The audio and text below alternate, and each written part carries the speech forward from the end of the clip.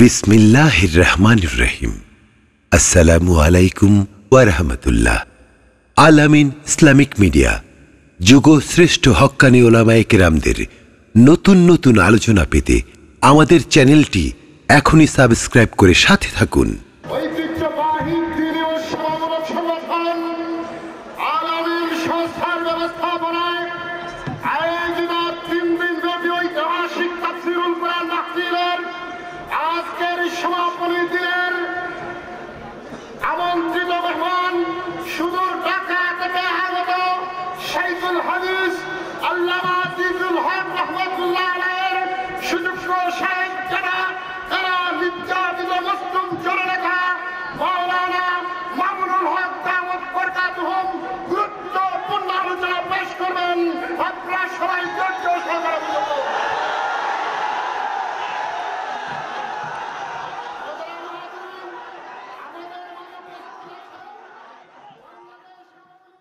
السلام عليكم ورحمة الله. إن الحمد لله نحمده ونستعينه ونستغفره ونؤمن به ونتوكل عليه. ونشهد أن لا إله إلا الله وحده لا شريك له. ونشهد أن سيدنا وسندنا وحبيبنا وطبيب قلوبنا ومولانا محمد الذي أرسله الله إلى كافة الناس بشيرا ونذيرا وداعيا إلى الله بإذنه وسراجا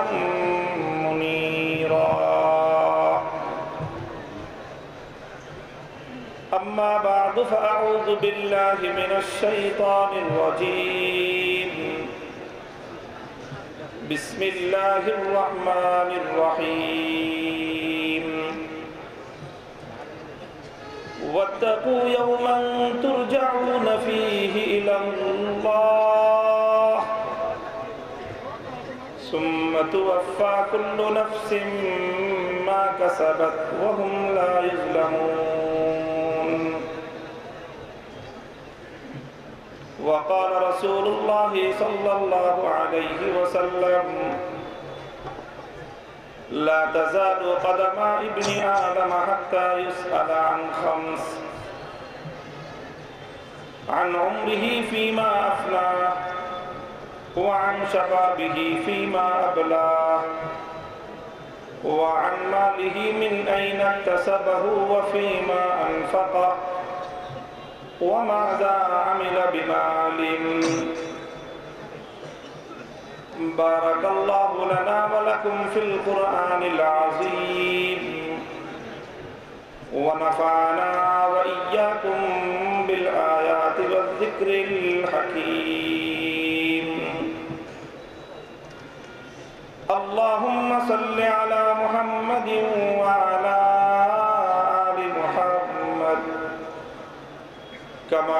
صليت على إبراهيم وعلى آل إبراهيم إنك حميد مجيد. اللهم بارك على محمد وعلى آل محمد كما باركت على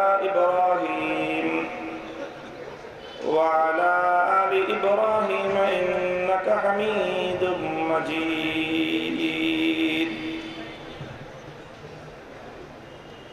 نهاية قابل احترام حضرت محترم صدر جلسہ উপস্থিত হজরত ওলামা ইকরাম পরম শ্রদ্ধাভাজন আমার মুরব্বী সাহেবান সুধীবৃন্দ সমবেত ইসলামের ঝান্ডাবাহী আগামী দিনের জাতির কর্ণধার। ইসলামী বিপ্লবের তরুণ সৈনিক, আমার প্রাণ প্রিয় তালেবান হলুমে নবুয় ছাত্র বন্ধুগণ, তৌহিদি জনতা, বীর চট্টলার ঐতিহ্যবাহী সংগঠন, ওলামায়ে কেরামের ঐক্যের অন্যতম প্রতীক আলামিন সংস্থার উদ্যোগে আয়োজিত তিন দিনব্যাপী আজিম শান কেরাতুল কোরআন এবং ওয়াজ মাহফিলের আজকে সমাপনী দিবসে আল্লাহ পাক রব্বুল আলমিন আমাদেরকে আল্লাহর কোরআনের এই মোবারক মাহফিলে হাজির হওয়ার তৌফিক দিয়েছেন। সমবেত হওয়ার তৌফিক দিয়েছেন রব্বে করিমের বড়ই মেহরবানি। রব্বে করিমের দরবারে কালে মতস্য করে হাদিয়া পেশ করি, আলহামদুলিল্লাহ। বাংলাদেশের খ্যাতিমান ওলামায়ে কেরাম, দেশ বরেণ্য মুফসরিন কেরামগণ, গত দুদিন ধরে এই ঐতিহ্যবাহী শতবর্ষী ইসলামী শিক্ষার প্রাণকেন্দ্র বাংলাদেশের আধ্যাত্মিক মার্কাজ দারুল উলুম ময়নুল ইসলাম হাটহাজারির এই স্মৃতিধন্য ঐতিহ্যবাহী হাটহাজারি কলেজ মাঠের এই ময়দানে দেশ বরেণ্য ওলামা একরাম গুরুত্বপূর্ণ দিক নির্দেশনামূলক তেজদীপ্ত অনুপ্রেরণাদায়ক আলোচনা পেশ করেছেন। আরও কিছু কথা বলবার জন্য আমাকে নির্দেশ দেওয়া হয়েছে। এবং সে আলোকে আমি আপনাদের সম্মুখে উপবিষ্ট হয়ে পবিত্র কোরআনে পাকের একখানা আয়াত আমি তেলাওয়াত করেছি।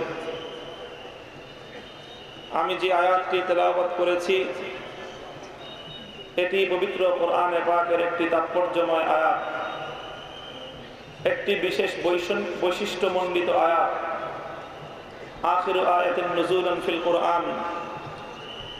কোরআনে পাক যেই আয়াতের নাজিল হওয়ার মধ্য দিয়ে পূর্ণতা লাভ করেছে এবং এই আয়াত নাজিল হওয়ার মধ্য দিয়ে আল্লাহর কোরআন সমাপ্তি হয়েছে।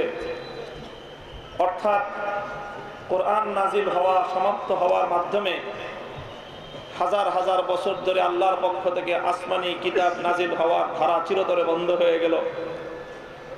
আল্লাহ পাক আলমিন ওয়াহির মাধ্যমে, আসমানি কিতাবের মাধ্যমে জগৎবাসীর উদ্দেশ্যে যত কথা বলেছেন, কোরআনের শেষ আয়াতটি হলো এই বিশ্ববাসীর উদ্দেশ্যে তার সৃষ্টিকর্তা মহান আল্লাহ পাক রব্বুল আলমিনের পক্ষ থেকে আখেরি বিদায়ী বাণী।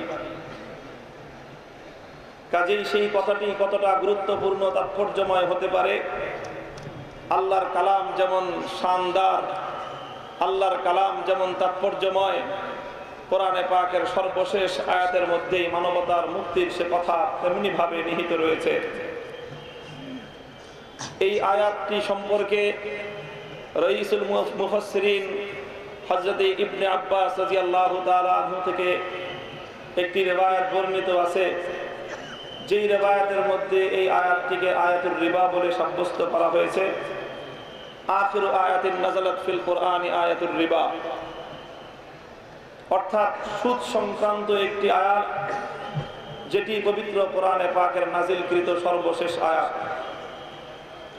কোরআনে একরাম এবং যারা আমরা কোরআনে পাকের মোটামুটি এলেম কিছুটা শিখবার সুযোগ লাভ করেছি, তারা জানি যে এই আয়াতের মধ্যে বাহ্যিকভাবে সুদ সংক্রান্ত কোনো আলোচনা নেই। তবুও এই আয়াতটিকে ইবনে আব্বাস রাদিয়াল্লাহু আনহু আয়াতুর রিবা এজন্য বলেছেন, কারণ আল্লাহ পাক এর পূর্ববর্তী আয়াতগুলোতে সুদের নিষেধাজ্ঞা সম্পর্কে কঠোর হুঁশিয়ার বাণী উচ্চারণ করেছেন। মানুষকে দুনিয়ার কাজ কারবারের ক্ষেত্রে আল্লাহ পাক সীমা লঙ্ঘন করবার জন্য, সীমা লঙ্ঘন করবার ক্ষেত্রে কঠোর নিষেধাজ্ঞা আরোপ করে এই আয়াতের মাধ্যমে আল্লাহ পাক রব্বুল আলমিন তার কথা সমাপ্ত করেছেন। মুখতারাম হাজরিন, আয়াতে করিমার বিস্তারিত ব্যাখ্যার আলোচনা করা সংক্ষিপ্ত এক মাহফিলের মধ্যে সম্ভব নয়। আয়াতের সংক্ষিপ্ত অনুবাদ এবং তার ভাবার্থ আমি আপনাদের সম্মুখে বলি। আমার আব্বাজান মরহুম হজরত শাইকুল হাদিস আল্লামা আজিজুল হক নব্বর আল্লাহ মারকাদাহু কোরআনে পাকের এই আয়াত সম্পর্কে দৃষ্টান্ত দিয়ে বলতেন, এই আয়াতটি হলো একজন মানুষের জীবনের নিয়ন্ত্রক, মানুষের জীবনকে সঠিক পথে সঠিক পথে পরিচালিত করবার জন্য আল্লাহর এই কোরআনের আয়াত, এটা এক মহা প্রতিষেধক।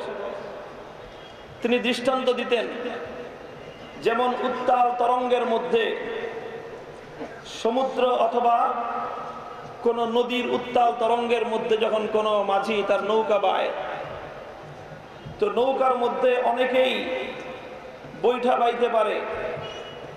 অনেক নৌকা আছে, অনেক বৈঠা দিয়ে নৌকা চালানো হয়। আপনারা বাইসের নৌকা দেখেছেন? নৌকা বাইশ হয় যে? সেই নৌকা বাইশের মধ্যে লম্বা নৌকা থাকে আর নৌকার দুই সারিতে চল্লিশ জন, পঞ্চাশ জন মাঝি থাকে। তারা সকলের হাতেই ছোট ছোট বৈঠা থাকে। সকলেই শরীরের সমস্ত শক্তি দিয়ে যতটা দ্রুত সম্ভব নৌকার বৈঠা বাইতে থাকে। আর পিছনে একজন থাকে হাল ধরে। একটা লোক একেবারে নৌকার পিছনে থাকে, সে কোনো বৈঠা পায় না। সে কি ধরে থাকে? হাল ধরে থাকে। তাকে নড়াচড়া করতে দেখা যায় না। তাকে এত পরিশ্রম করতে দেখা যায় না। কিন্তু সে হালটা ধরে রাখে। পঞ্চাশ জন লোক এই যে বৈঠা বাইতেছে, এই পঞ্চাশ জন লোকের বৈঠা বাবাটা এবং তাদের এই বৈঠা বাবার মাধ্যমে তাদের বাইচের নৌকা প্রতিযোগিতার সফলতা লাভ করাটা, এটা প্রকৃত অর্থে নির্ভর করে হলো ওই হাল ধরে থাকা মাঝির হাল ধরার উপর। মাঝি যদি ঠিক মতো হাল ধরে থাকে, তাহলে যারা বৈঠা বাইতেছে, তাদের বৈঠা পাওয়া সার্থক হবে। আর হালধারী মাঝি যদি তার হাল ধরতে ভুল করে, যত জোরেই তুমি বৈঠা পাও না কেন, তোমার এই বৈঠা পাওয়া ব্যর্থ হবে, তোমার বাইচের নৌকা প্রতিযোগিতা বিজয়ী, বিজয় অর্জন করতে পারবে না। মোহতারাম হাজরিন, উত্তাল তরঙ্গের মধ্যে যখন নৌকা চলে, প্রবল ঝড়ো হাওয়া তখন নৌকা চালানোর জন্য বৈঠা বাইতে হয় না। কারণ তখন তো বাতাসেই নৌকা নিয়ে যায় ঝড়ের বেগে। তখন বৈঠা পাওয়ার প্রয়োজন হয় না। কিন্তু সমুদ্রের উত্তাল তরঙ্গের সঙ্গে লড়াই করে নৌকাকে রক্ষা করতে হলে শক্ত হাতে হাল ধরতে হয়। যারা সমুদ্রের মধ্যে যুদ্ধ করে, সমুদ্র আপনাদের এই সামুদ্রিক অঞ্চলে তো মানুষ আমার চেয়ে বিষয়টা ভালো বলতে- পারবেন, বুঝতে পারবেন। মাছ ধরার ট্রলারগুলো যখন চলে, বঙ্গোপসাগরের উত্তাল তরঙ্গে দৃষ্টিহীন শুধু চতুর্দিকে পানি আর পানি। অথই পানির এই জলরাশির মধ্যে উত্তাল তরঙ্গ, ঝড়ো হাওয়া, এর মধ্যে সেই ট্রলার নৌকাকে রক্ষা যদি করতে হয়, তাহলে শক্ত হাতে নির্ভুল ভাবে আস্থা বিশ্বাসের সঙ্গে মজবুত হাতে হাল ধরে থাকতে হয়। হাল ধরার মধ্যে যদি একটু উনিশ বিশ হয়, তাহলে এই নৌকা তরঙ্গের তোড়ে ঝড়ের তোড়ে সমুদ্রের এই পানির স্রোতের তোড়ে কোত্থেকে কোথায় ভেসে চলে যাবে, এ নৌকার আর কোনো অস্তিত্ব খুঁজে পাওয়া যায় না। কথা ঠিক? মোহতারাম হাজরিন শাইখুল হাদিস রহমতুল্লাহ আলাইকে বলতে শুনেছি, তিনি বলতেন যে কোরআনে পাকের এই আয়াতের মাধ্যমে আল্লাহ পাক রব্বুল আলামিন পৃথিবীর মানুষকে তার জীবনের হাল ধরিয়ে দিয়েছেন। যে হে মানুষ, তুমি দুনিয়াতে যাই করো না কেন? তুমি যেখানেই যাও না কেন? যেতে যেতে তুমি মঙ্গল গ্রহ পর্যন্ত পৌঁছতে পারো। তুমি চন্দ্র গ্রহে তুমি পৌঁছতে পারো। চাঁদের দেশে তোমার পদার্পণ হতে পারে। তুমি সমুদ্রের মধ্যে আটলান্টিক মহাসমুদ্রে ভাসতে পারো। নাবিক হয়ে তুমি সমুদ্রের তলদেশ থেকে মণিমুক্তা সিঞ্চন করতে পারো। তোমার উত্থান মঙ্গল গ্রহ পর্যন্ত হোক, অথবা তোমার গভীরতা সমুদ্রের তলদেশ পর্যন্ত হোক, সারা দুনিয়া তুমি, সারা দুনিয়া তুমি মারিয়ে বেড়াও। কিন্তু তোমার জীবনতরীর হাল যদি শক্ত হাতে ধরে থাকো, তাহলে তোমার এই জীবনতরী চূড়ান্ত মঞ্জিল মাকসাদ পর্যন্ত গিয়ে নমর করবে ইনশাআল্লাহ। আল্লাহ পাক রব্বুল আলামিন কোরআনে পাকের এই আয়াতের মধ্যে মানব জীবনের সেই শক্তিশালী হাল ধরিয়ে দিয়েছেন কি হাল আল্লাহ বলেছেন ওয়াত্তাকু ইয়াওমান তুরজাউনা ফীহি ইলাল্লাহ واتقوا يوما ترجعون فيه إلى الله ثم توفى كل نفس ما كسبت হে দুনিয়ার মানুষ, তুমি যেই হও না কেন? তুমি মন্ত্রী হতে পারো, এমপি হতে পারো, চেয়ারম্যান হতে পারো। তুমি সচিব হতে পারো, চাকরিজীবী হতে পারো, শিল্পপতি, ব্যবসায়ী হতে পারো, ইন্ডাস্ট্রিয়ালিস্ট হতে পারো। তুমি আলেম হতে পারো, ইমাম হতে পারো। নারী, পুরুষ, তুমি যেই হও না কেন, তুমি দুনিয়ায় অনেক কিছু করতে পারো। তবে যা কিছু করবে, একটা কথা তুমি মনে রাখবে সেটা হলো তুমি একটা দিনের ভয় তোমার অন্তরের মধ্যে রাখো। যেই দিন তোমাকে সৃষ্টিকর্তা আল্লাহর দরবারে ফিরে যেতে হবে এবং সেখানে গিয়ে তারপরে তোমাকে গিয়ে আল্লাহর কাছে জীবনের পাই পাই হিসাব দিতে হবে। তোমাকে তোমার জীবনের পাই পাই হিসাব দেওয়া লাগবে খোদার কাছে। এই জবাবদিহিতার ভয় তুমি তোমার অন্তরের মধ্যে পোষণ করো। বাস আল্লাহ পাক এই কথাটুকু বলে কোরআনে পাককে সমাপ্ত করে দিলেন। তাকবার আয়াত, মানুষের হৃদয়ের মধ্যে জবাবদিহিতার ভয় অর্জন করার এই আয়াত, এই আয়াতটাই হলো মানব জীবনকে সঠিক পথে রাখবার জীবনের হাল। আল্লাহ পাক রব্বুল আলমিন আমাদের এই পুরা মজমাকে জীবনে এই তাকবার হাল ধারণ করবার তৌফিক দান করেন। মোখতারাম হাজরিন জীবনে এই তাকবার গুরুত্ব তাকবার এই হাল ধারণ করবার গুরুত্ব যেমনি ভাবে ব্যক্তির জীবনে রয়েছে, পরিবারের জীবনে রয়েছে, সমাজ এবং রাষ্ট্রের জীবনেও এই তাকবার হাল ধারণ করবার কোনো বিকল্প এবং এর কোনো গত্যন্তর নাই এটা ছাড়া। কারণ কি? যদি তাকবার হাল সঠিকভাবে ধারণকৃত না থাকে, তাহলে একজন ব্যক্তি যেমন বিপর্যয়ের সম্মুখীন হওয়া অনিবার্য তাকবার হাল যদি জাতির মধ্যে না থাকে, সে জাতীয় পশ্চিমকালেও উন্নত জাতি হতে পারে না। সে জাতির বিপর্যয় রোধ করবার মতো দুনিয়াতে কোনো ক্ষমতা নাই। ব্যাপারটা কীরকম কেউ মনে করতে পারেন যে আয়াত হলো তাকবার হুজুর দিকে চলে যায় জাতির দিকে। হুজুর দিকে চলে যায় জাতির দিকে। আবার কথা বলে মন্ত্রীদেরকে নিয়ে। হ্যাঁ আলহামদুলিল্লাহ। কথাবার্তা কোরআন নিয়েই বলি আমরা। তবে আমরা সেই কোরআন নিয়ে কথা বলি। যে কোরআন জাতিকে বাতিল করে, জাতিকে বাদ দিয়ে, দেশকে বাদ দিয়ে, রাষ্ট্রকে বাদ দিয়ে শুধু ব্যক্তির জীবন নিয়ে কথা বলতে আমাদেরকে হুকুম করে নাই? আমরা সে কোরআন থেকে কথা বলি, যেই কোরআন শুধুমাত্র ব্যক্তির জীবন নয় যেই কোরআন শুধুমাত্র সাধারণ জনগণ নয়, এই কোরআন মন্ত্রীদের সাহারত পর্যন্ত পৌঁছে যায়।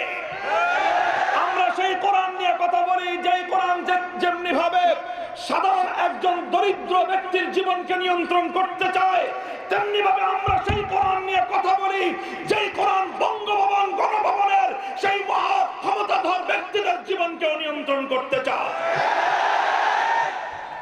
মোখতারাম হাজরিন কোরআনের এই আয়াতের তাৎপর্য সুদূর প্রসারী।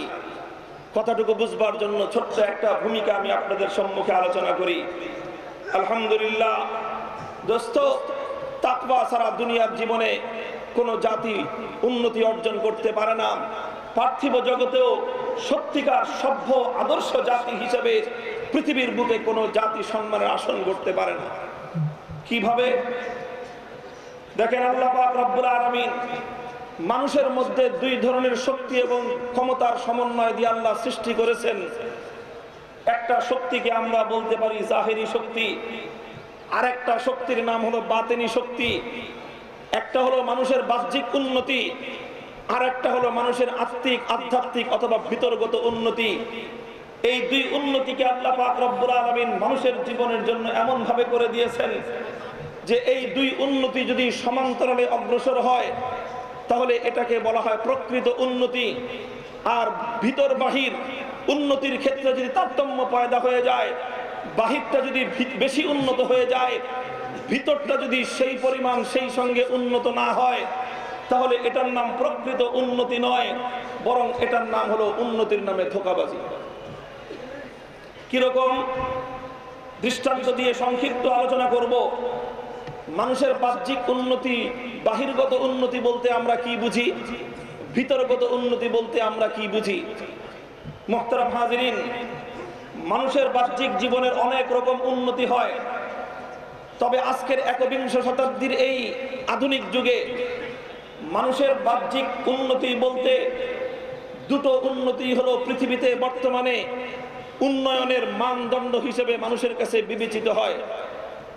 পৃথিবীর বিভিন্ন দেশ, বিভিন্ন জাতি, কোন দেশ, কোন জাতি কতটা উন্নত, এই উন্নত জাতির পরিমাপ করবার জন্য বিশ্বব্যাপী দুটি মানদণ্ড এটা প্রচলিত।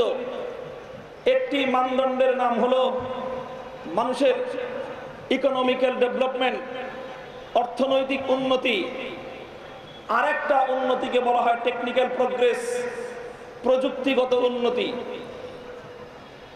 আরেকটা উন্নতি আছে, সেটা আমি পরে বলছি। সেটা হলো এডুকেশনাল ডেভেলপমেন্ট শিক্ষাগত উন্নতি।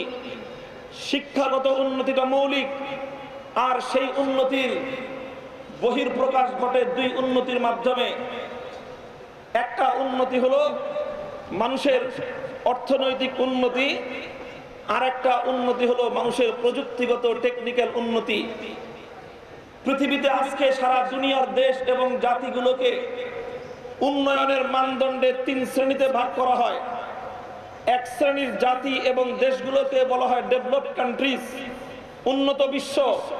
কথাটা আমরা শুনি সব সময় কিন্তু এর প্রকৃত প্রকৃতিটা বুঝুন। একটা হলো কিছু দেশ আর জাতি আছে যেগুলোকে বলা হয় ডেভেলপড কান্ট্রিজ উন্নত দেশ আর জাতি। আর কিছু দেশ আর জাতিকে বলা হয় ডেভেলপিং কান্ট্রিজ অর্থাৎ উন্নয়নশীল জাতি। আর তৃতীয় শ্রেণির কিছু দেশ এবং জাতি আছে, ওগুলোকে বলা হয় লেস ডেভেলপ অথবা আন্ডার ডেভেলপড কান্ট্রিজ অনুন্নত বিশ্ব, অনুন্নত দেশ এবং জাতি। একটা হলো উন্নত আর একটা হলো উন্নয়নশীল আর একটা হলো অনুন্নত। উন্নত মানে হলো যারা উন্নতি করে সেরেছে, উন্নয়নশীল মানে হলো যারা উন্নতি করছে, আর অনুন্নত হলো যারা এখনও উন্নয়নের রোড ম্যাপে উঠতে পারে নাই, রাস্তায় উঠতে পারে নাই। এখনও তারা বাস স্ট্যান্ড পর্যন্তই পৌঁছতে পারে নাই, এখনও তারা রিক্সায় চলতেছে। পৃথিবীর দেশ এবং জাতিগুলোকে তিন ভাগে ভাগ করা হয়। আমাদের বাংলাদেশ সহ পৃথিবীর অনেকগুলো দেশ আছে। আমাদেরকে বলা হয় উন্নয়নশীল দেশ। ডেভেলপিং কান্ট্রিজ আমরা ডেভেলপিং নেশনস উন্নয়নশীল অর্থাৎ আমরা উন্নতি করছি।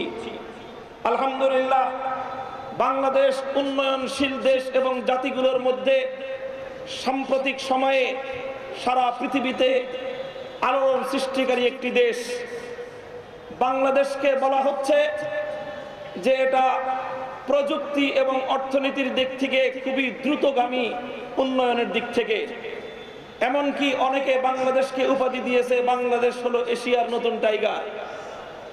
অনেকে বলছে বাংলাদেশ উন্নয়নের দিক থেকে এখন উন্নয়নের রোল মডেল অনেক সুন্দর সুন্দর স্লোগান আর অনেক মুখরোচক কথা আমাদের দেশ এবং জাতি সম্পর্কে বিশ্বব্যাপী এখন প্রচলিত। ভালো কথা, অর্থনীতির দিক থেকে আমরা উন্নত হচ্ছি। আমাদের গোটা দেশে এখন উন্নয়নের জোয়ার বইতেছে। মাশাল্লাহ আগে শুধু জোয়ার বইত, নদী, নালা, খাল, বিলে। এখন আমাদের উন্নয়নের জোয়ার রাস্তাঘাটেও চলছে, আলহামদুলিল্লাহ। আমাদের ঢাকা এবং আপনাদের চট্টগ্রাম এই দুই শহর, বিশেষ করে রাস্তাঘাটে উন্নয়নের চোখ ধাঁধানো দৃশ্য এখন নজরে পড়ে। আগে আমাদের উন্নয়নের জোয়ার চলতো পানিতে, তারপরে চলল মাটিতে। এখন ঢাকা আর চট্টগ্রাম শহরে উন্নয়নের জোয়ার ফ্লাইওভারের উপর দিয়ে হাওয়ায় উড়ে মাসাল্লাহ কাজেই আমরা এখন অর্থনৈতিকভাবে উন্নত হচ্ছি। আমাদের প্রযুক্তিগত উন্নতিও হচ্ছে মাসাল্লাহ বিশ্ব উন্নত বিশ্বের সঙ্গে পাল্লা দিয়ে প্রযুক্তিগত উন্নতির অন্যতম মাইল ফলক হল আজকে আপনার ইন্টারনেট এবং অনলাইন যুগের উন্নতি। ইন্টারনেটের এবং বিশেষ করে কম্পিউটার এবং ইন্টারনেট, অর্থাৎ ডিজিটাল প্রযুক্তির যে উন্নতি, সেটা তো আজকে বাংলাদেশ এই উন্নয়নের ক্ষেত্রে অনেক দূর অগ্রসর হয়ে গিয়েছে।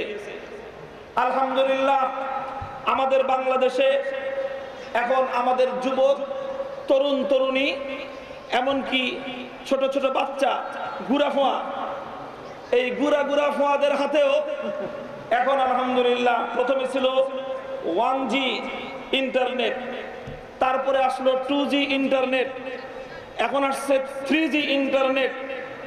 মাসাল্লাহ আমাদের আমাদের যে প্রযুক্তি প্রতিমন্ত্রী তারানা হালিম আবা, তিনি ঘোষণা দিয়েছেন, অতি শীঘ্রই বাংলাদেশের সকল গ্রামে, গঞ্জে সকল তরুণ তরুণীদের হাতে ফোর ইন্টারনেট তিনি ব্যাপক করে দিবেন। ফোর ইন্টারনেট হলে কি হবে? এখন আমরা বাতাসের বেগে ইন্টারনেটে ফেসবুক চালাতে পারি। এখন আমরা বাতাসের বেগে একজন আরেকজনকে ফ্রেন্ড রিকোয়েস্ট পাঠাতে পারি। একজন চট্টগ্রামের ছেলে, দিনাজপুরের মেয়েকে এখন বাতাসের বেগে বন্ধুত্বের প্রস্তাব দিতে পারে। ফোর জি ইন্টারনেট আসলে তারানা হালিম আপার সৌজন্যে। তখন এদেশের ছেলেরা ঝড়ের গতিতে মেয়েদেরকে ভালোবাসার লাভ দিতে পারবে। আমরা এগুলোর বিরোধিতা করি না, ভালো কথা। প্রযুক্তিগত উন্নতি হচ্ছে। আমরা বারো কোটি টাকা খরচ করে প্রযুক্তির নতুন উদ্ভাবন মিস সোফিয়াকে বারো কোটি টাকা দিয়ে আমাদের রাজধানী তিলোত্তমা ঢাকায় আমরা সাদর সম্ভাষণ জানাই। যে দেশে নয় লক্ষ মানুষ এখনও মাথা গুজবার ঠাই পায় না, খোলা আকাশের নিচে বসবাস করে, যে দেশের লাখো জনতা এখনও পর্যন্ত দুবেলা পেট পুরে খেতে পারে না। উন্নয়নে বিশ্বাস করি তবে একজন একটি শুধুমাত্র রোবটকে প্রাণহীন রোবটের পিছনে বারো কোটি টাকা অপচয় করবার মতো বিলাসী জাতি হওয়ার দুঃসাহস আমরা করতে চাই না।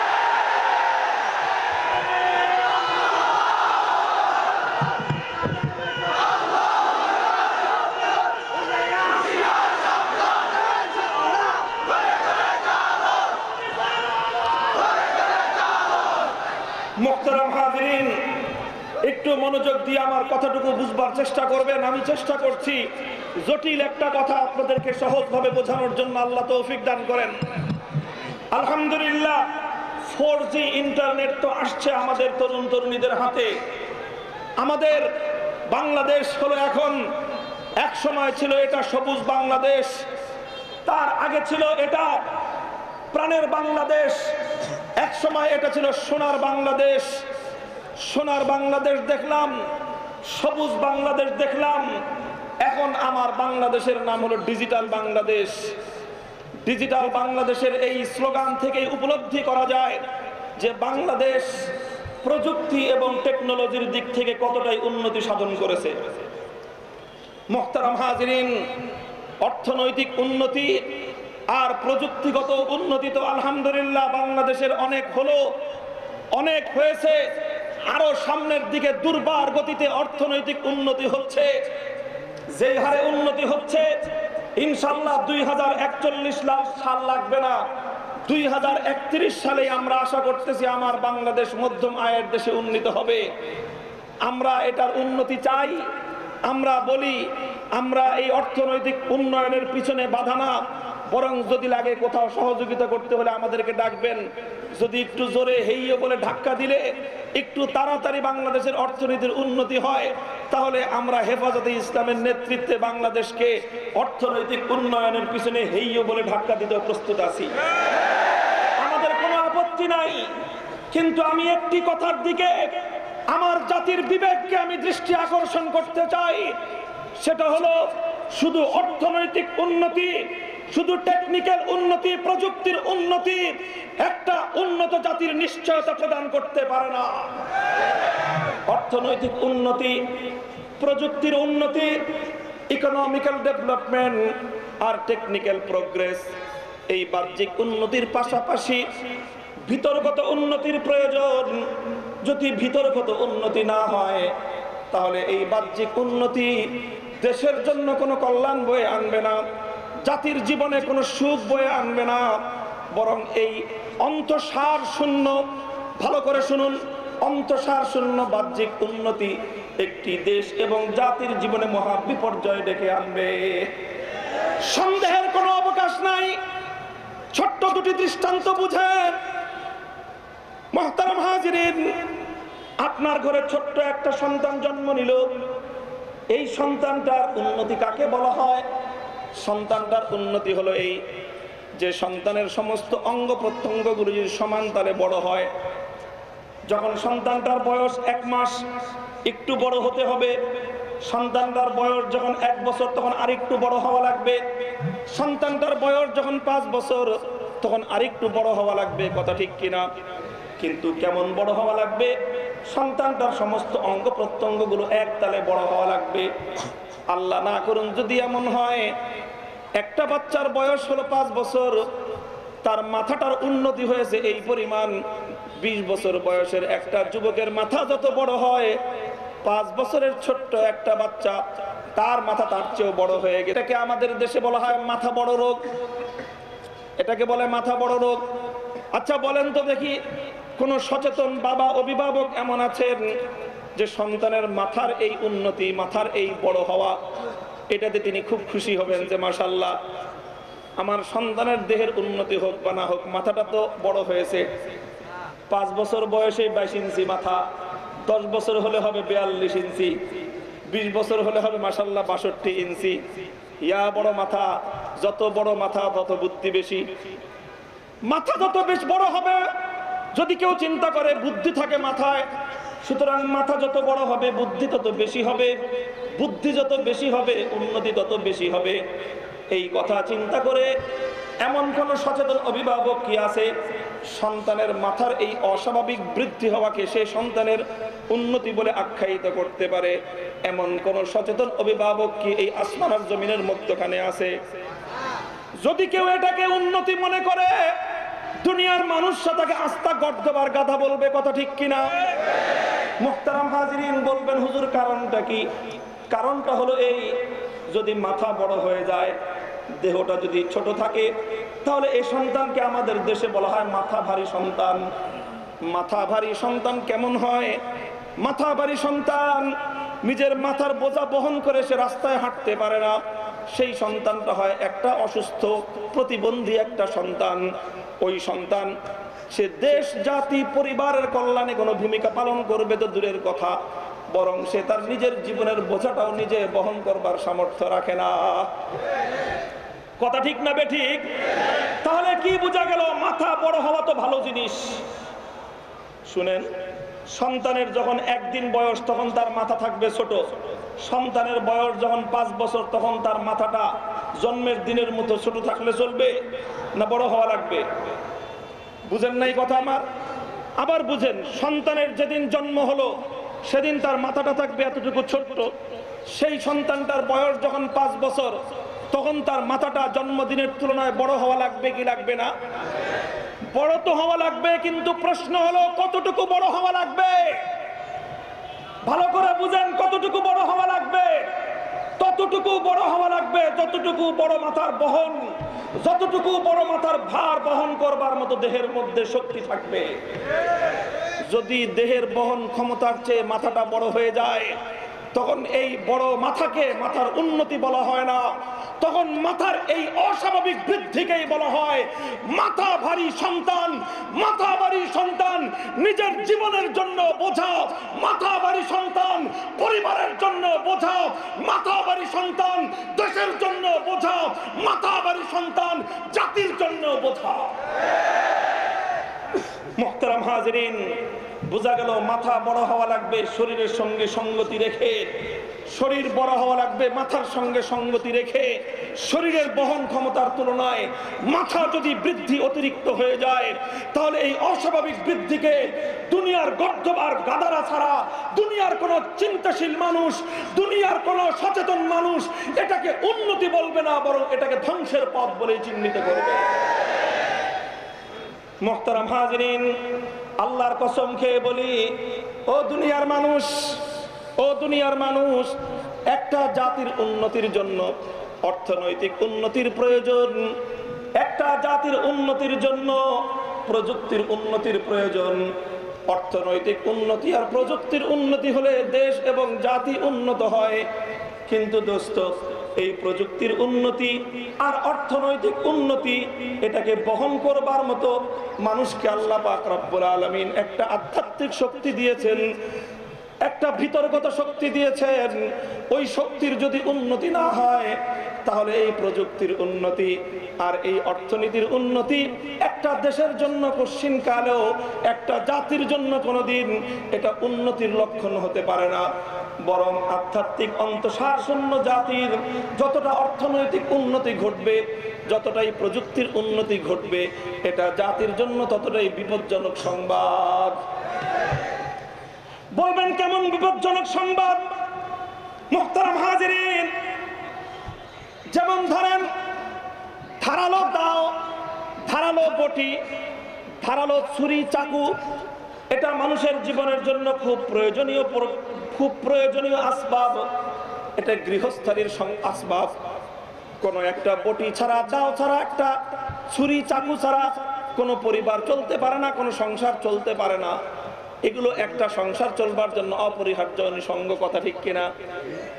দুনিয়াতে এমন কোনো ঘর পাবেন যে ঘরে বটি নাই। বাংলাদেশ জুড়ে এমন একটা ঘর পাবেন যে ঘরে কোনো দাসুরি নাই। দাসুরি বটি ছাড়া পাকঘর চলবে, রান্নাঘর চলবে এগুলো ছাড়া মানুষের খাওয়া দাওয়া চলবে। এগুলো ছাড়া মানুষের খাওয়া দাওয়া চলবে না। তাহলে বোঝা গেল, মানুষের জীবনের উন্নতির, মানুষের জীবন পরিচালনা করবার জন্য ধারালো দা বটি এবং ছুরি চাকু, এটা অপরিহার্য জিনিস। এটা খুব প্রয়োজনীয় জিনিস। কিন্তু আল্লাহ না করুন, আল্লাহ না করুন। এই দাঁড়াল দা বটি আর ছুরি যদি একজন ডাকাতের হাতে চলে যায় রাত তিনটার সময় রাস্তার মোড়ে দাঁড়িয়ে থাকা একটা সন্ত্রাসী ডাকাত ছিনতাইকারীর হাতে চলে যায়। তাহলে এই দা বটি আর এই ধারালো ছুরি, এটা মানুষের জীবনের কোনো প্রয়োজনীয় হাতিয়ার থাকে না। বরং মানুষের জীবনের অতি প্রয়োজনীয় দা বটি আর ছুরি, এটা তখন মানুষের জীবন সংহারণকারী, মানুষের জীবন ধ্বংসকারী হাতিয়ারে রূপান্তরিত হয়। আজকে আমরা কথাটাই বলতে চাই। জাতির বাহ্যিক উন্নতি যেই পরিমাণ প্রয়োজন, সেই বাহ্যিক উন্নতিকে নিয়ন্ত্রণ করবার জন্য আমার আল্লাহ পাক রব্বুল আলমিন মানুষের ভিতরগত একটা শক্তি দান করেছেন, যেটাকে আধ্যাত্মিকতার শক্তি বলে, যেটাকে আত্মার শক্তি বলে, যেটাকে মানুষের রুহের শক্তি বলে। সেই আধ্যাত্মিক এবং রুহের শক্তি ব্যতি রেখে যদি মানুষের জাহেরি এবং বাহ্যিক উন্নতি আকাশচুম্বী হয়ে যায়, ও দোস্ত যে জাতির মানুষের হৃদয়ের মধ্যে খোদার ভয় নাই, যে জাতির হৃদয় মানুষের হৃদয়ের মধ্যে আত্মার উন্নতি নাই, তাদের ভিতরগত উন্নতি নাই, কিন্তু বাহ্যিক উন্নতি হয়ে গেছে, তাদের অর্থনৈতিক উন্নতি হয়ে গেছে, তাদের প্রযুক্তির উন্নতি হয়ে গেছে, তাহলে এটা উন্নতি হলো, এটা অত্যন্ত প্রয়োজনীয় অর্থনীতি টাকা পয়সা খুব দরকারি জিনিস, প্রযুক্তি খুব দরকারি জিনিস, কিন্তু এই টাকা পয়সা আর প্রযুক্তি যদি নীতিহীন মানুষের হাতে চলে যায়। এই টাকা পয়সা আর প্রযুক্তি যদি চোর ডাকাতের হাতে চলে যায়, এই টাকা পয়সা আর প্রযুক্তি যদি সন্ত্রাসী মাস্তানের হাতে চলে যায়, তাহলে এই টাকা পয়সা আর এই প্রযুক্তি এটা দেশ এবং জাতির উন্নয়নের হাতিয়ার নয়, বরং এটা দেশ এবং জাতির ধ্বংসের হাতিয়ার। মুহতারাম হাজরিন, আল্লাহর কোরআন সে কথাই বলছে ওয়াত্তাকু ইয়াওমান তুরজাউনা ফীহি ইলাল্লাহ। ও জাতি, তোমরা, হে পৃথিবীর মানুষ, পৃথিবীর দেশ এবং জাতিগুলো, তোমরা বাহ্যিক উন্নতি করো, কোনো আপত্তি নাই।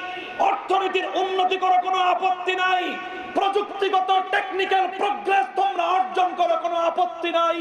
কিন্তু সেই পরিমাণ অর্থনৈতিক উন্নতি অর্জন করো, সেই পরিমাণ প্রযুক্তিগত উন্নতি করো, যেই পরিমাণ প্রযুক্তিগত এবং অর্থনৈতিক উন্নয়নকে নিয়ন্ত্রণ করবার মতো তোমাদের অন্তরের মধ্যে ধারণ ক্ষমতা থাকবে। সেই অন্তরের ধারণ ক্ষমতার চেয়ে অতিরিক্ত অর্থনৈতিক উন্নতি, অতিরিক্ত প্রযুক্তির উন্নতি দেশ এবং জাতিকে ধ্বংসের রসাতলে ডুবিয়ে ছাড়বে। আজ আমরা সেই উন্নতির কথা, আজকে আমরা আল্লাহর কোরআনের এই কথা, এই থিওরি হারে হারে টের পাচ্ছি আমরা। হারে হারে টের পাচ্ছি। আজকে আমাদের দেশে অর্থনৈতিক উন্নয়নের কোনো অভাব নাই, প্রযুক্তির উন্নতির জন্য চিন্তা ভাবনার কোনো অভাব নাই, কিন্তু জাতির আগামী সন্তান এবং আগামী প্রজন্মের আত্মার উন্নতি কীভাবে হবে, আধ্যাত্মিক উন্নতি কীভাবে হবে, সেটা চিন্তা করবার মতো, সেটা ভাববার মতো টেকনাফ থেকে তেতুলিয়া পর্যন্ত মোহতারাম হাজরিন খুঁজলে একটা শ্রেণি ছাড়া আর কাউকে খুঁজে পাওয়া যায় না। রাষ্ট্র, সরকার, রাজনীতিবিদ, ব্যবসায়ী, শিল্প, সমাজ, সকলেই এক ধান্দার মধ্যে লেগে আছে। কীভাবে জাতির অর্থনৈতিক উন্নতি করা যায়? কীভাবে দেশের প্রযুক্তির উন্নতি করা যায়? কিন্তু জাতির আত্মার উন্নতি কীভাবে করা যায়? সেটা চিন্তা ভাবনা করবার মতো এদেশে যদি কোনো সমাজ থেকে থাকে, সেই সমাজের নাম হলো আলেম সমাজ। সেই সমাজের নাম হলো আলেম সমাজ। মোহতারাম হাজরিন, সংক্ষিপ্ত কথা। কথাটা একটা কথাই আমি বারবার ঘুরিয়ে ফিরিয়ে বলতে চাচ্ছি। মোহতারাম হাজরিন, আল্লাহর কোরআন, কোরআনে পাকের এই আয়াতের মধ্যে মানব জীবনের অত্যন্ত গুরুত্বপূর্ণ একটি দর্শন আল্লাহ পাক মানুষকে দৃষ্টি আকর্ষণ করেছেন। সেই দর্শনটার নাম হলো, অন্তরের মধ্যে খোদার ভয় জাগ্রত করো। যদি খোদার ভয় জাগ্রত না হয়, এমন একজন মানুষের কাছে যদি টাকা থাকে, যে মানুষের টাকার জবাবদিহিতার কোনো ভয় নাই এমন একজন মানুষের কাছে যদি প্রযুক্তি থাকে, প্রযুক্তির অসৎ ব্যবহার করবার জবাবদিহিতার যার ভয় নাই, এই টাকা দিয়ে দেশ এবং জাতির উন্নতি হয় না, দেশ এবং মানবতার কল্যাণ হয় না, এই প্রযুক্তি দিয়ে দেশ এবং জাতি মানবতার সুখ হয় না, বরং এই প্রযুক্তি এবং এই অর্থনীতি মানবতার অকল্যাণে মানুষের শান্তি নষ্ট করবার কাজেই ব্যয় হয়। আপনারা দেখেন, মাঝে মাঝে আমরা বিভিন্ন ইন্টারনেট, সামাজিক যোগাযোগ মাধ্যমে আমরা খবর দেখি, বিভিন্ন সংবাদ ভাইরাল হয় যে অমুক এলাকায় একটা মেয়ে আত্মহত্যা করেছে। কেন আত্মহত্যা করেছে? আত্মহত্যা করবার কারণ খুঁজে পাওয়া যায়। অবৈধভাবে গোপনে বিভিন্নভাবে তার ভিডিও ধারণ করা হয়েছে। তার নানা ধরনের গোপন চিত্র ধারণ করা হয়েছে। মোবাইল ফোনের মাধ্যমে আইফোনের মাধ্যমে, বিভিন্ন আধুনিক তথ্য প্রযুক্তির স্মার্টফোনের মাধ্যমে এই সমস্ত ভিডিওগুলো ধারণ করা হয়েছে। ধারণ করে তাকে ব্ল্যাকমেইল করা হয়েছে। ব্ল্যাকমেইল করে তাকে নানাভাবে, অবৈধভাবে তাকে ভোগ করা হয়েছে। এরপর এরপর যখন কোনো এক কারণে সে আর নিয়ন্ত্রণে থাকতে চায় না, তখন তার এই গোপন ভিডিওগুলো ইন্টারনেটের মধ্যে ছড়িয়ে দেওয়া হয়। ইউটিউবে ছড়িয়ে দেওয়া হয়, নানা যোগাযোগ মাধ্যমে, সামাজিক যোগাযোগ মাধ্যমে এগুলোকে প্রচার করে দেওয়া হয়। তখন ওই মানুষ সমাজের কাছে তার চরিত্র এবং তার মান সম্মান গোটা পরিবার, গোটা বংশের মুখের মধ্যে চুনকালি পড়ে যায়। তখন সে এই অবস্থায় বাংলাদেশের মধ্যে অহরহ আত্মহননের ঘটনা, অহরহ আত্মহত্যার ঘটনা ঘটছে, কথা ঠিক কিনা? মোখতারাম হাজিরিন, এই যে ঘটনাগুলো ঘটছে, এই ঘটনাগুলোর পিছনে দায়ীটা কি?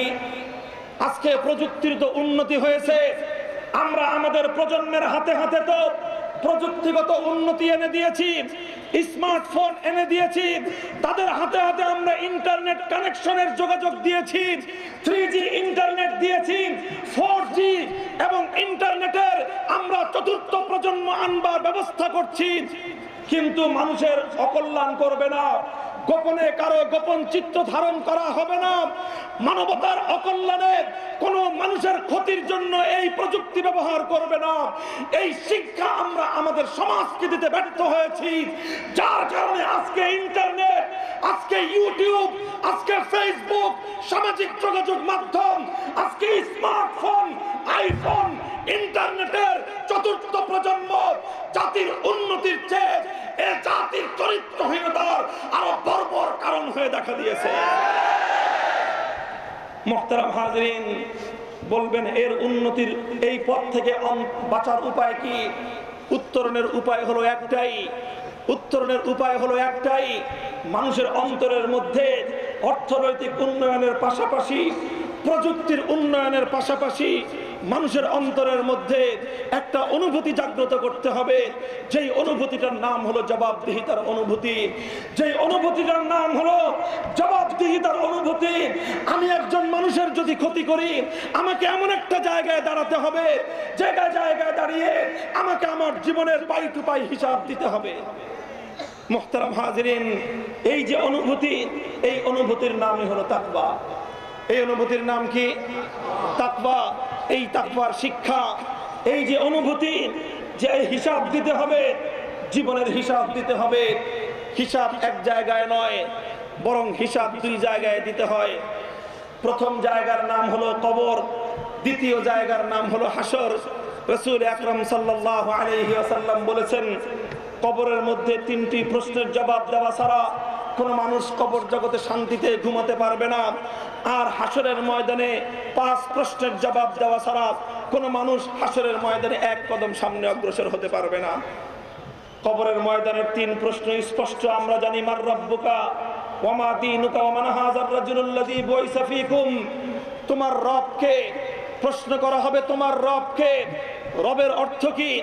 রবের অর্থ অনেক বিশ্লেষণ করবার পর যে অর্থ বের হয়, সেই অর্থ হলো, তোমার জীবনে বিধান চলত কার?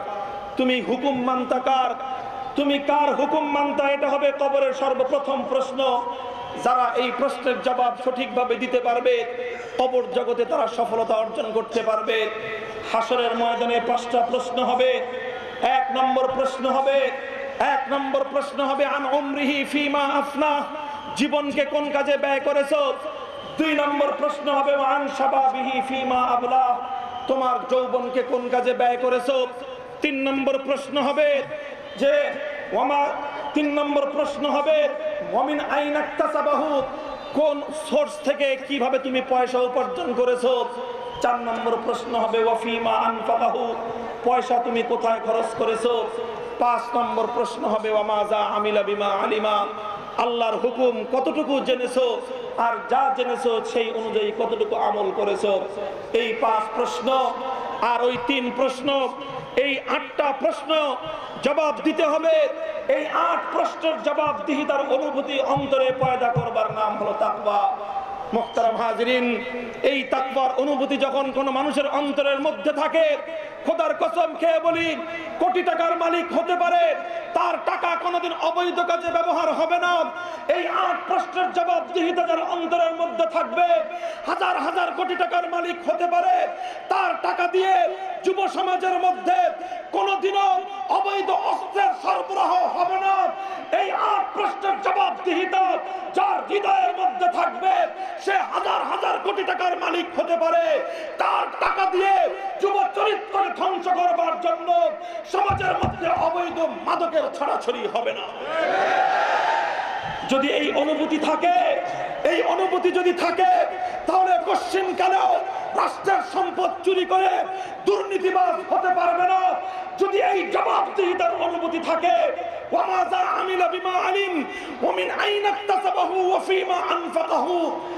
থেকে সম্পদ উপার্জন ইনকাম সোর্স তার কি ছিল? এই জবাবদিহিতার অনুভূতি যদি থাকে তাহলে রাষ্ট্রীয় সম্পদের ঘুষকে সহনীয় পর্যায়ের ঘুষ বলে কোশ্চেন তারা আখ্যায়িত করতে পারবে না। আজকে বড় দুঃখ এবং পরিতাপের ব্যাপার। জাতি হিসেবে এটা আমাদের জন্য চরম লজ্জা এবং লাঞ্ছনার ব্যাপার।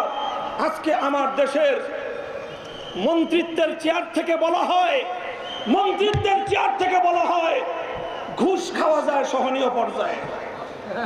দেশের সম্পদ চুরি করা হবে, জনগণের সম্পদ চুরি করবে, অবৈধভাবে উৎকোচ গ্রহণ করবে ঘুষ খাবে, সেটা আবার সহনীয় পর্যায়ের হয় কীভাবে? এটাকে সহনীয় পর্যায়ের বলে গোটা দেশ এবং জাতির নৈতিকতার মান আজকে কতটা অধপতিত হয়েছে? একজন সরকারের দায়িত্বপ্রাপ্ত মন্ত্রীর লাগামহীন বক্তব্যের মাধ্যমে গোটা বাংলাদেশ এবং জাতি আজকে অনৈতিকতার চরম আতঙ্ক হবার নিমজ্জিত হওয়ার প্রমাণ পাওয়া যায়। মোখতারাম হাজরিন আমরা বলতে চাই, আমার আখেরি পায়গাম হলে অর্থনীতির উন্নতি হয়েছে, ভালো কথা। প্রযুক্তির উন্নতি হয়েছে, ভালো কথা। কিন্তু এই দুই উন্নতির মাধ্যমে দেশ এবং জাতির প্রকৃত কল্যাণ এবং উন্নতি তখনই হবে যখন এই দুই উন্নতির সঙ্গে সমান্তরালে দেশ, জাতি এবং মানুষের আত্মার উন্নতি ঘটবে, মানুষের হৃদয়ের মধ্যে যখন জবাবদিহিতার ভয় জাগ্রত হবে। মোহতারাম হাজরিন, জবাবদিহিতার ভয় জাগ্রত হয় থেকে কারা জাগ্রত করে? আলহামদুলিল্লাহ, মানুষের চিন্তা চেতনা গঠন করে শিক্ষা ব্যবস্থা। লক্ষ্য করেন, আমার শেষ কথাটা আমি বলছি, জাতির প্রজন্মের চিন্তা চেতনা গঠন করে কোন ব্যবস্থা? জাতির চিন্তা চেতনা গঠন করে কোন ব্যবস্থা? শিক্ষা ব্যবস্থা। কোন ব্যবস্থা? জাতির চিন্তা চেতনা গঠন করে কোন ব্যবস্থা? শিক্ষা ব্যবস্থা। আজকে আমার বাংলাদেশে শিক্ষার উন্নতি হয়েছে, শিক্ষার হার উন্নতি হয়েছে। কিন্তু এটা কোন শিক্ষা এবং কোন শিক্ষার মাধ্যমে আমার জাতির কি চেতনা গঠন হচ্ছে? আমি আপনাদেরকে ছোট্ট একটা কথা বলে আলোচনা শেষ করছি। আমার দেশের যেই শিক্ষা ব্যবস্থা রয়েছে, আলহামদুলিল্লাহ এ টু জেড এই দেশের প্রচলিত সকল শিক্ষা ব্যবস্থা সম্পর্কে আমার কাছে ছোট্ট অভিজ্ঞতা রয়েছে। আমি দেখেছি, আমার দেশের শিক্ষা ব্যবস্থা সম্পর্কে পর্যালোচনা করেছি, প্র্যাকটিক্যাল অভিজ্ঞতা আমি অর্জন করেছি। সাইকুল হাদিস রহমতুল্লাহ আলাইহের ঔরসে জন্মগ্রহণ করবার সুবাদে আমি জন্মগ্রহণ করবার সুবাদে বারো বছর বয়সে আল্লাহর কোরআন হেফজ সমাপ্ত করবার সব সুযোগ হয়েছে। বাইশ বছর বয়সে এদেশের একটি শীর্ষস্থানীয় কওমি মাদ্রাসা থেকে দাওরায় হাদিস সমাপ্ত করার সুযোগ হয়েছে। এরপরে আরও উচ্চতর শিক্ষা, ইসলামী শিক্ষা অর্জন করবার সুযোগ হয়েছে। এই সব শিক্ষা অর্জন করবার পর আমি চিন্তা করলাম, আমি তো কোরআন, সুন্নার শিক্ষা অর্জন করবার সুযোগ পেয়েছি। পারিবারিক ভাবেই এবং এই শিক্ষা ব্যবস্থার মাধ্যমে এমন একটা শিক্ষা আমি শিখেছি, আমার দেশের শতকরা পঁচানব্বই ভাগ সন্তান, তারা তো এই মাদ্রাসাগুলোতে পড়াশোনা করে না। তারা তো এই মাদ্রাসাগুলোতে পড়ে না। তারা তো পড়াশোনা করে স্কুল কলেজে। সেই স্কুল কলেজে কি শিক্ষা দেওয়া হয়? স্কুল কলেজের ডিগ্রি অর্জন করেছি। শুধু আমার সন্তানরা, আমার দেশের যুবক, তরুণ ছেলেরা কি পড়াশোনা করে জানবার জন্য?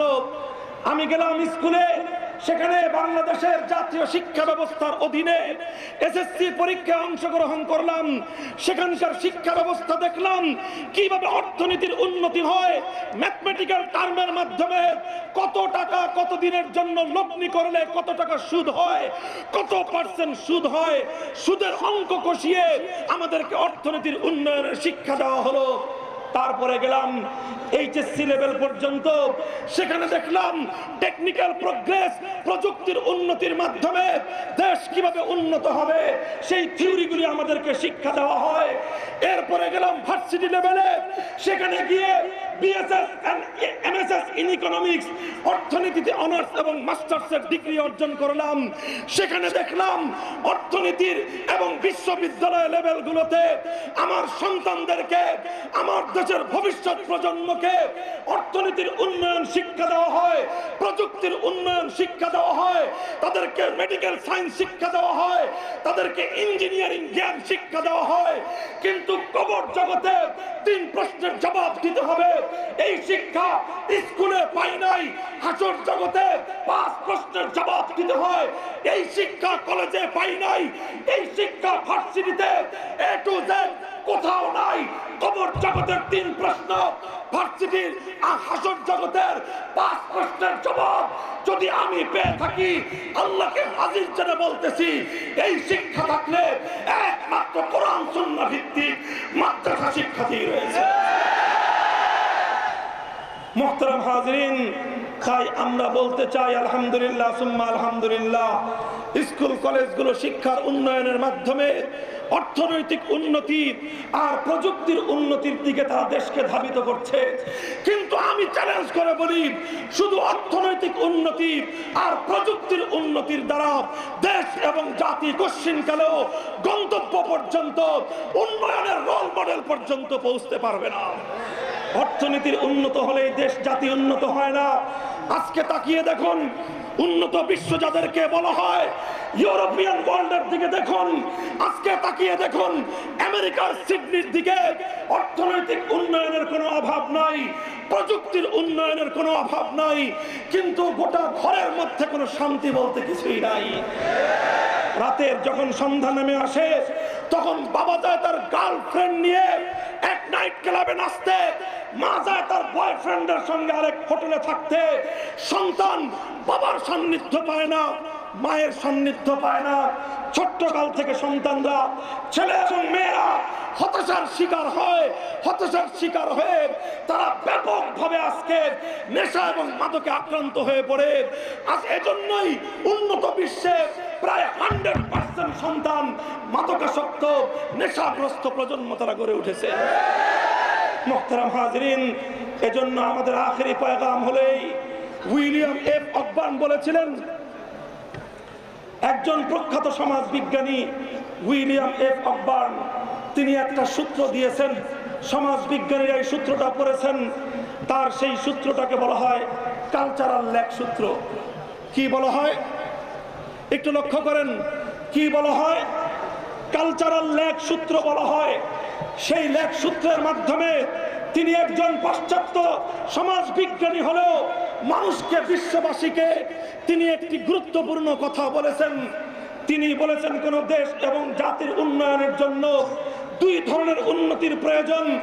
একটা হলো মেটেরিয়াল কালচার আর একটা হলো নন মেটেরিয়াল কালচার অর্থাৎ একটা হলো বস্তুগত উন্নতি আর একটা হলো আধ্যাত্মিক উন্নতি। বস্তুগত উন্নতি আর আধ্যাত্মিক উন্নতির দৃষ্টান্ত হলো যেমন রেল লাইন। কি লাইন? রেল লাইনের দুটি লাইন চলতে থাকে। রেল লাইনের দুটি লাইন চলতে থাকে। দুই লাইন যদি সমান্তরালে চলে দোনোটা লাইন যদি একসঙ্গে এক গতিতে চলে, তাহলে রেল সামনের দিকে চলবে। যাত্রীরা তাদের গন্তব্য পর্যন্ত পৌঁছতে পারবে। আল্লাহ না করুন, রেল লাইনের দুটি লাইনের মধ্যে একটা যদি সংক্ষিপ্ত থেকে যায় আর একটা যদি সামনের দিকে অগ্রসর হয়ে যায়, তাহলে এক লাইন পিছনে পড়ে থাকা, আরেক লাইন সামনে বেশি অগ্রসর হয়ে যাওয়া, এটা রেলকে এবং তার হাজার হাজার যাত্রীদেরকে গন্তব্যে পৌঁছানোর পথ নয়, বরং হাজার হাজার যাত্রীদের জীবনকে বিপন্ন করবার বিপজ্জনক পথ।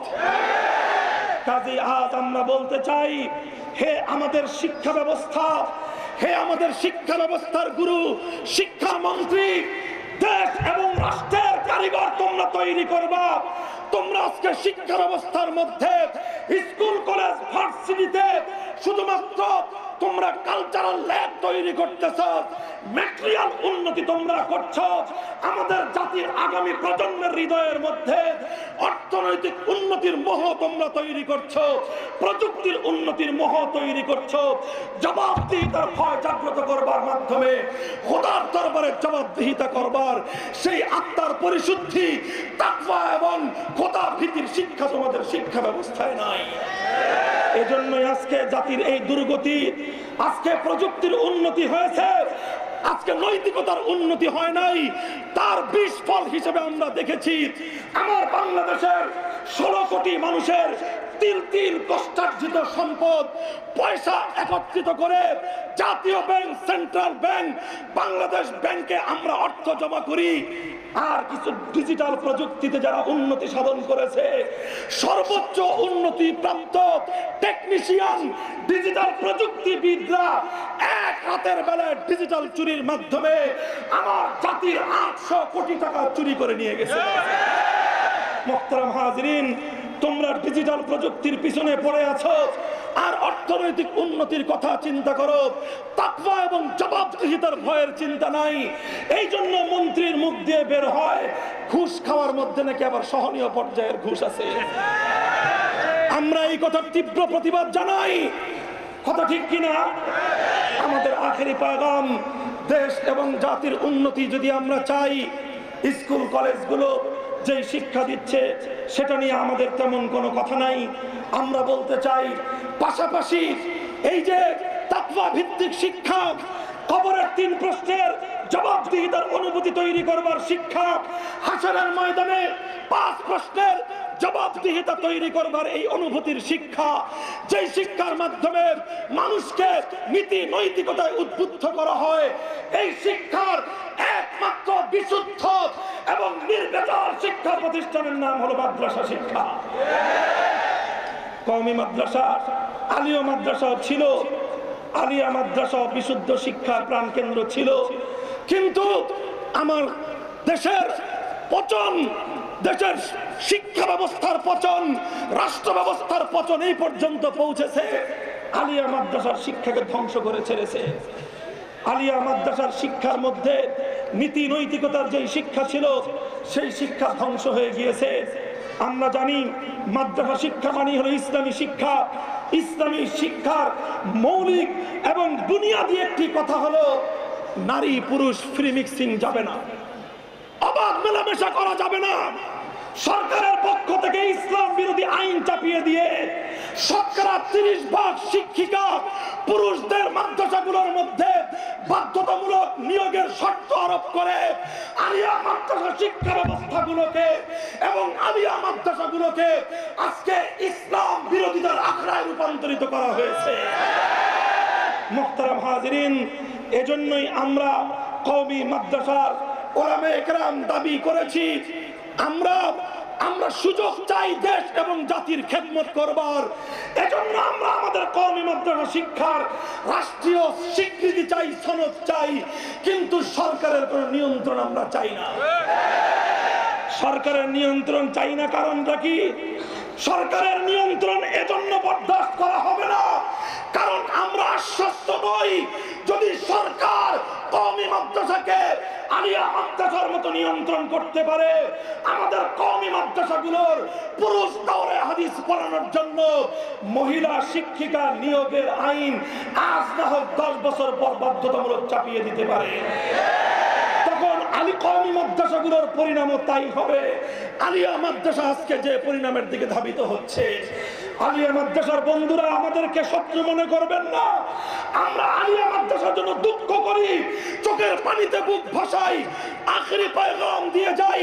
আল্লাহ আহমদ শফি যেভাবে দাবি উত্থাপন করেছেন কওমি মাদ্রাসাকে স্বীকৃতির মাধ্যমে মন্ত্রী পরিষদ থেকে নিয়ে গোটা রাষ্ট্রের সর্বোচ্চ পর্যায়ে আখরাতের জবাবদিহিতার এই চেতনা ছড়িয়ে দেওয়ার জন্য কওমি মাদ্রাসার শিক্ষার্থীদের, জাতি এবং রাষ্ট্রে তাদের বিচরণকে অবাক করবার সুযোগ দিতে হবে।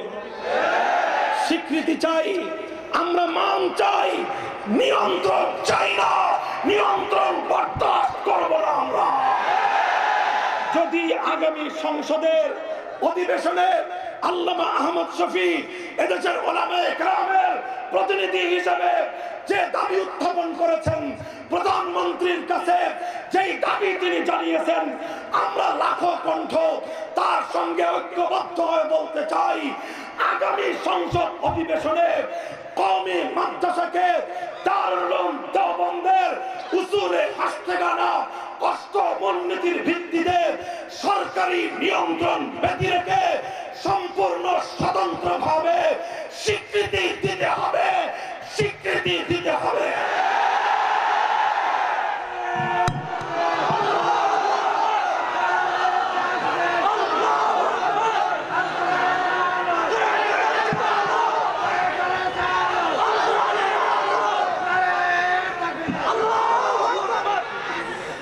আলহামদুলিল্লাহ সুম্মা আলহামদুলিল্লাহ। এদেশের আলেম সমাজ এখনও পর্যন্ত দেশ এবং জাতির যে জায়গাটায় বিচ্যুতি দেখছেন সেখানে ওলামে একরাম অঙ্গুলি নির্দেশ করছেন এবং জাতিকে সতর্ক করছেন। কথা ঠিক না বেঠিক মোহতারাম হাজরিন আজকে আপনাদের চট্টগ্রামবাসীর উপর ঐতিহাসিক একটা দায়িত্ব এসে পড়েছে। সে দায়িত্বটা হলো বাংলাদেশের স্বাধীনতা আজকে বিপন্ন প্রায়। দেশ এবং জাতির স্বাধীনতা এই বিপন্ন হওয়ার ক্রান্তিকালে যেভাবে আমরা শত শত বছর ধরে জাতি এবং দেশকে রক্ষা করবার জন্য রক্তের নজনা পেশ করেছি, আরেকবার দেশের স্বাধীনতা রক্ষা করবার জন্য আমাদেরকে সচেতন এবং প্রস্তুত থাকতে হবে। বলবেন কীভাবে বিপন্ন হচ্ছে? বাংলাদেশের পার্বত্য অঞ্চলে একটা জারজ খ্রিস্ট রাজ্য প্রতিষ্ঠার চক্রান্ত এবং পায়তারা চলছে।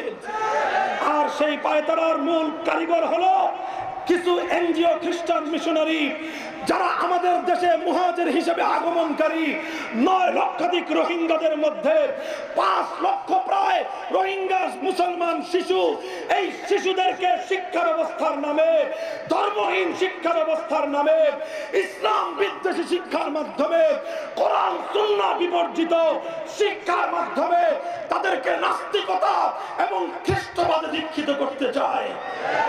আজকের পাঁচ লক্ষ শিশু আগামী পঁচিশ বছর পর পাঁচ লক্ষ যুবক। এই যুবকগুলো যদি ধর্মহীন হয়ে যায়, নাস্তিক হয়ে যায় খ্রিস্টান হয়ে যায়। বাংলাদেশের পার্বত্য অঞ্চলকে জুড়ে পঁচিশ বছর ধরে পুরানো সাম্রাজ্যবাদের খ্রিস্ট রাজ্য প্রতিষ্ঠার স্বপ্ন বাস্তবায়িত হবে। দেশ জাতি অন্যরা কি করবে আমি জানি না। বাংলাদেশের বিশ হাজার কৌমি মাদ্রাসার পঞ্চাশ লক্ষ ছাত্র জনতাকে সজাগ থাকতে বলব। আমাদের পাঁচ লক্ষ রোহিঙ্গা সন্তান, ওদের একজন সন্তানকেও কোরআন শূন্য বিবর্জিত কোন ইসলাম বিদ্বেষী শিক্ষায় শিক্ষা প্রদান করতে দেওয়া হবে না, হতে পারে না। কথা ঠিক, সজাগ থাকতে হবে, হেফাজতে ইসলাম জাগ্রত আছে, নেতৃবৃন্দকে আমি ঢাকা থেকে শুধু জাতির তরুণ সমাজের পক্ষ থেকে একটা কথা বলে দিয়ে আমি আমার দায়িত্ব সমাপ্ত করতে চাই, যদি সংবাদ পান রোহিঙ্গা শিবিরগুলোতে এনজিও খ্রিস্টান মিশনারিরা, এনজিওদের মাধ্যমে, খ্রিস্টান মিশনারিদের মাধ্যমে পাঁচ লক্ষ রোহিঙ্গা তরুণ শিশুদেরকে, তাদেরকে ধর্মবিরোধী কোনো শিক্ষা দিচ্ছে অথবা খ্রিস্টান ধর্মে দীক্ষা, দীক্ষিত করবার চেষ্টা করছে। তাহলে আপনারা ঘুমিয়ে থাকবেন না, সজাগ হবেন।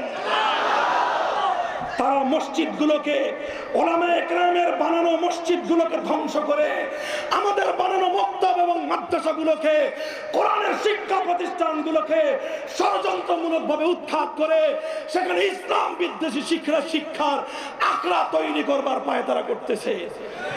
আমি আল্লাহ মাহমুদ শফির কাছে বলে যাই, আল্লামা জুনায়দ বাবুনগরী হুজুরের মাধ্যমে আমাদের শীর্ষ নেতৃত্বের কাছে আহ্বান জানিয়ে যাই যদি সংবাদ পাওয়া যায়, রোহিঙ্গা দুর্গত শিবিরে ওলামায় গ্রামের বানানো একটি মসজিদ ঘরের একটি খুঁটি উপড়ে ফেলবার চেষ্টা করা হয়েছে, অথবা একটি মক্তব ঘরের একটি বেড়া খুলে ফেলবার চেষ্টা করা হয়েছে। টেকনাফ থেকে তেঁতুলিয়ায় লক্ষ তরুণ আমরা প্রস্তুত। প্রয়োজনে রক্ষা করবার জন্য জিহাদের ময়দানে ঝাঁপিয়ে পড়ব। জিহাদের ময়দানে ঝাঁপিয়ে পড়ব।